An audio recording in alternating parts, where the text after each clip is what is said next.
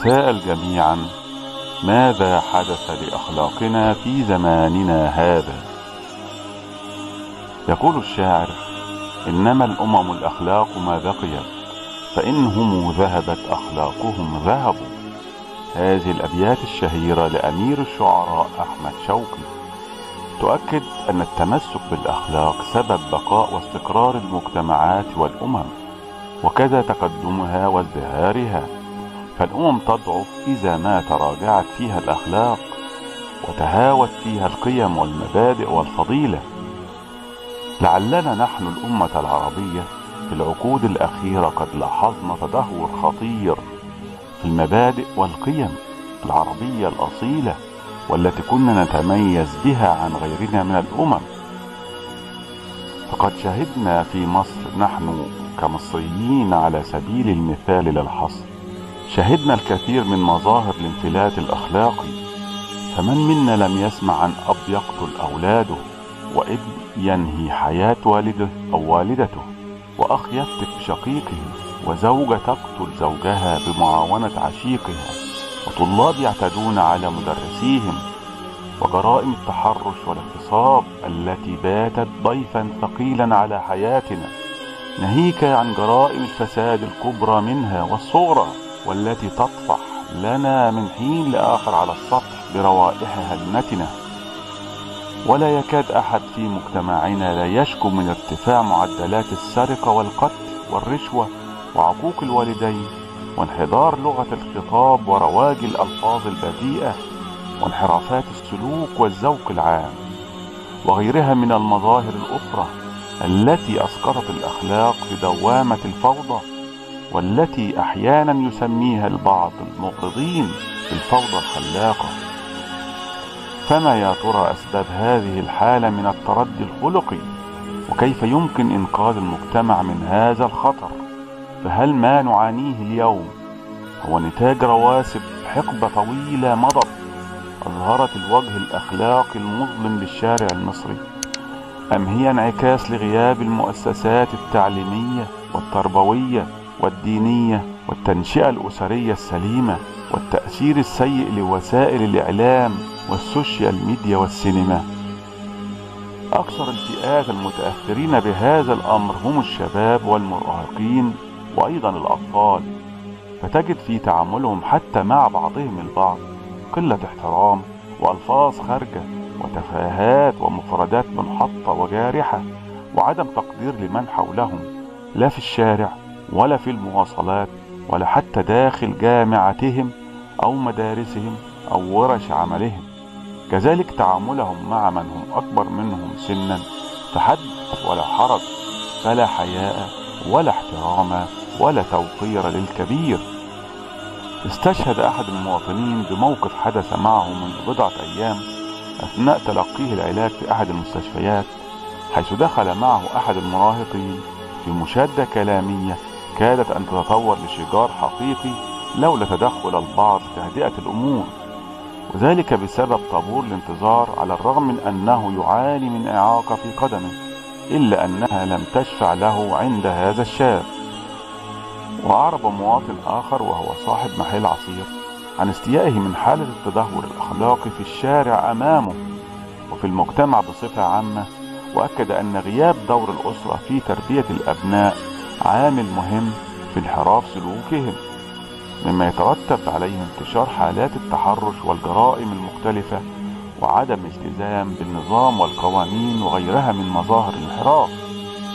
فتجد في الأسرة انشغال دائم للأب من أجل توفير لقمة العيش لأسرته في ظل الظروف المعيشية الصعبة والغلاء الفاحش بالأسعار في حين أن دخل المواطن محدود للغاية ولا يتناسب مع هذا الغلاء وبالتالي فهو مضطر لترك أولاده والتوجه للعمل لفترات إضافية لسد احتياجات أسرته.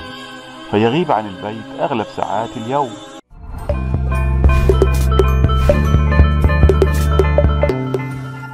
فلا يجد الأبناء من يعتني بهم ويربيهم على المبادئ والقيم ولا من يحاسبهم إنهم أخطأوا. على الرغم من وجود الأم إلا أن دور الأب يبقى هو رمانة الميزان في اتزان التربية والانضباط والحزم مع الأولاد في البيت. وكشف هذا المواطن أن حالة التدني الأخلاق هي تبعيات مشكلة اجتماعية منذ ما يزيد عن ثلاثين عاما زرع فيها مظاهر الفساد والانحلال الأخلاقي. في حين أكد مواطن آخر وهو من كبار السن وصاحب متجر لمواد غذائية واضعا مقارنة بين الوقت الحاضر والماضي. قائلا إنه مع مرور الزمن تقل الأخلاقيات والتمسك بالعادات والتقاليد العريقة. ففي الماضي كانت تسود حالة من الحب والمودة بين الناس بعيدا عن الصراعات والمشاكل التي نشاهدها اليوم.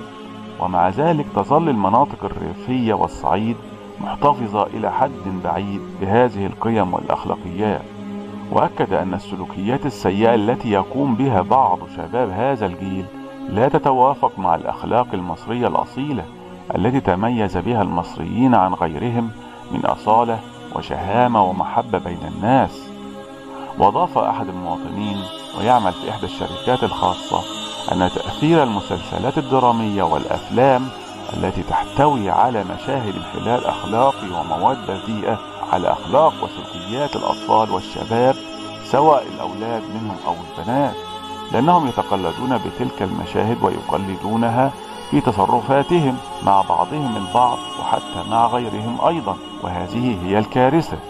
وطالب هذا المواطن بضرورة وجود رقابة مشددة ونزيهة على مثل هذه الأعمال الفنية لأنها سموم مدمرة يتم دسها داخل منازل المواطنين.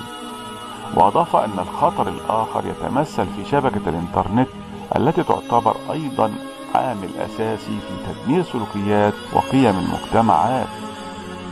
في حين أكدت إحدى أساتذة الجامعات وهو متخصصة في علم الاجتماع بجامعة عين شمس أنه يجب الاعتراف بوجود انفلات أخلاقي في المجتمع وهو من القضايا الهامة التي يجب معالجتها.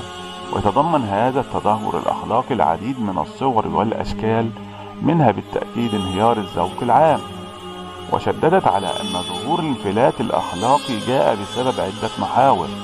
أولها الأسرة حيث ينشغل الأب والأم بالعمل لأوقات إضافية وخاصة الأب لتلبية مطالب العيش الأساسية من مأكل ومشرب والتي أصبحت باهظة التكاليف في السنوات الأخيرة. وبالتالي يكون ذلك على حساب تربية الأبناء حيث يهملان في تربية أبنائهما مما يترتب عليه نتائج عكسية وأولها نشأ جيل غير واعي بالآداب العامة والسلوكيات المجتمعية المثلى. والمحور الثاني الذي يمثل خطورة كبيرة أيضا هو ال social media وما تحويها من لغة مبتذلة ومواد هابطة والتي يكاد يدمنها النشء الصغير وحتى جيل الشباب بالإضافة إلى الأعمال السينمائية والدرامية التي غاب عنها الاحترام. وأصبحت تعرض مواد مبتذلة متدنية لتحصل على إيراد وعائدات أعلى على حساب المبادئ والقيم فهي تساعد على نشر المجون والخلاعة وأحيانا العدوانية والقتل تحت شعار نقل الواقع على عكس ما كانت عليه تلك الأعمال السينمائية والدرامية في الماضي. فالمجتمع من الشباب يتأثرون بما يشاهدونه دون وجود القدوة والمثل الأعلى الذي يحتذى به. فتدهور الأخلاق وضياع القيم والمبادئ له نتائج وخيمة وكارثية على مستقبل الوطن حيث أنه يتسبب بطريقة مباشرة وغير مباشرة في عرقلة مسيرة التنمية والبناء وتأخر الوطن عن ركب التقدم والرقي واللحاق بالأمم الناهضة في زماننا هذا بل هو أخطر على الوطن من الإرهاب. وأخيرا نتوجه لحضراتكم بسؤال. ما هو الحل هذه الأزمة والآفة الخطيرة التي تهدد مجتمعاتنا العربية جميعها؟